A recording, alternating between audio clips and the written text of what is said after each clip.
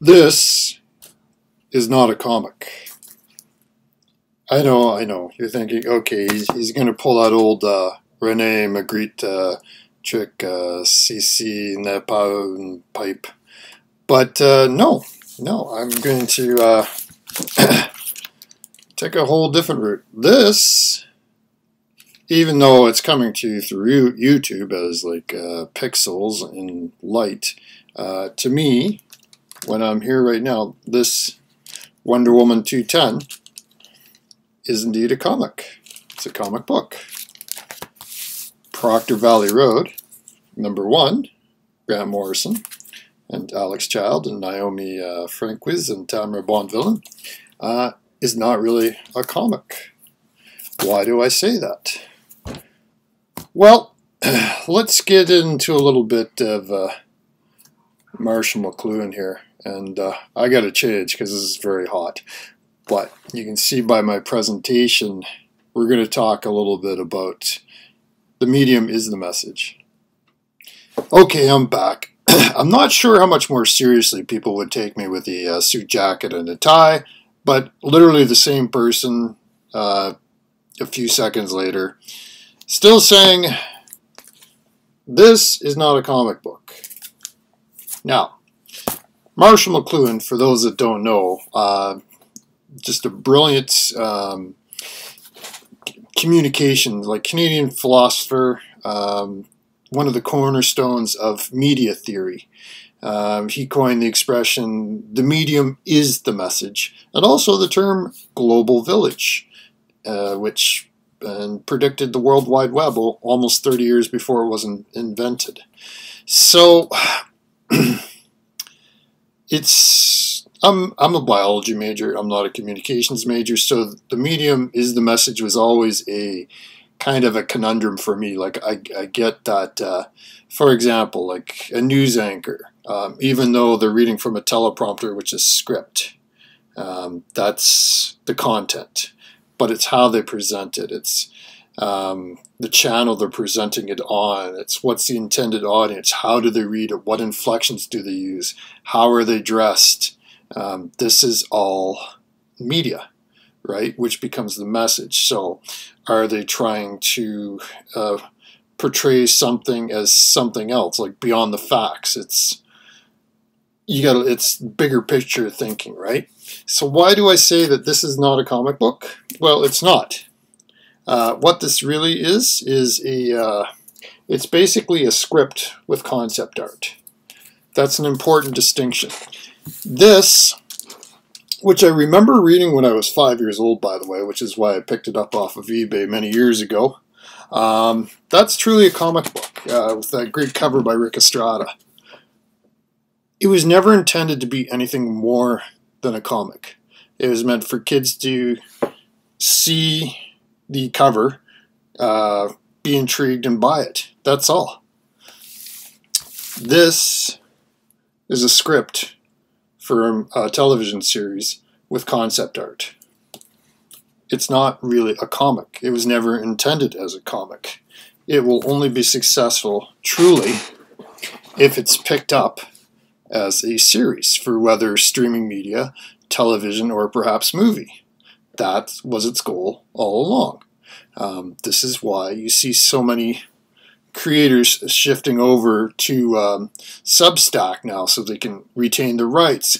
So many independents as pitch. Like I could have brought out Nocterra, which has been picked up as a, uh, a TV series, but one, I like this one because it was by Universal Content uh, Productions or UCP Graphic which is an extension of the uh, television studio UCP, which is a division of Universal Studio Group uh, associated with uh, NBC Universal, U- UCP. Um, so basically, it's NBC um, getting into comics. It's they're recognizing the goal that okay, a lot of our content is coming from comics so they're treating it as basically a script with concept art. It's, kind of a change. Now, I know This isn't speculation or I'm giving you comics like, oh, I think these are going to go up. This is this is the philosophy of it. This is what to think about. This is how the industry's changed from when I was young. Um, nowadays, it's a, a comic has to be picked up as a series or and now you know the biggest example is disney of course right? So is it going to go on disney plus? Is um, it going to be in the next avengers uh, movie or spin-off? Is there characters in there? Okay and it's now validated right? So it's it's a valuable comic. Well this is you're basically taking like comics out of that and all of a sudden they're no longer just comic. They've transitioned into script for movies or you know concepts for movies. That's different from when i was younger so um, yeah.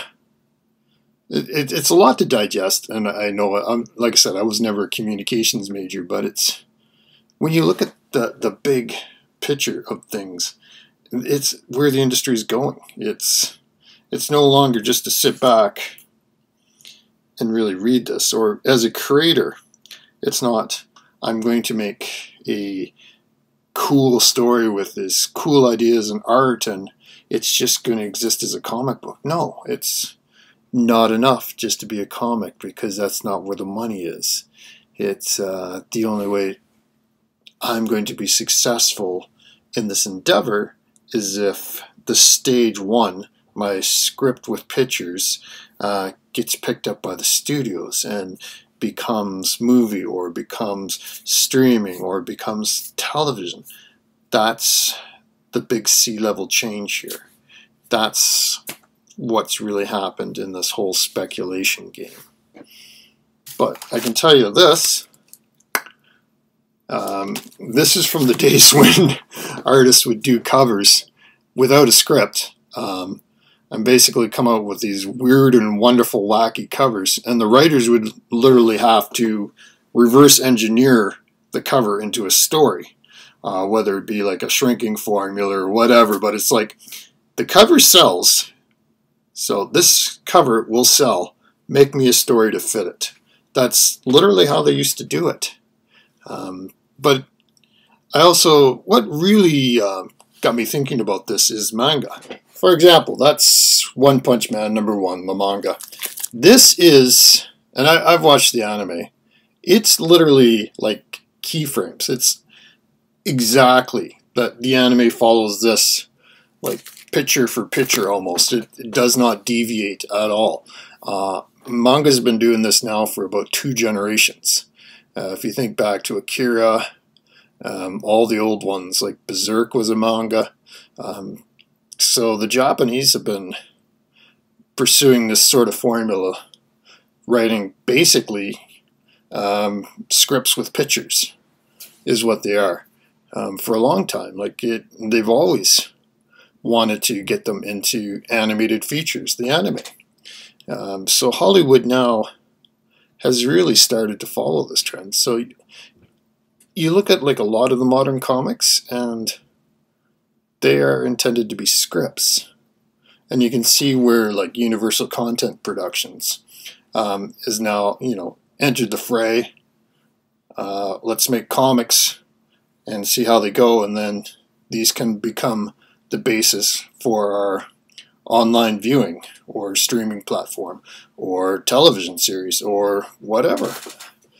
One of those evolutions of comics that you don't always see coming. And but when you do think about it, it's like, yeah, yeah, they're basically scripts now. Um, so now that's not true for long existing characters. Like for example, like um, a lot of the Batman are just Batman stories and they're not so much a script. But when people do the arcs, maybe they are, or Superman arcs, or whichever. Um, if it's a long established IP, um, it could just be just meant to be a comic and that's it. What I do find is a lot of these independents like Boom, um, Image, things like that are definitely aimed towards something more and that influences how they're written and the entire um, whether or not they're really a comic anymore.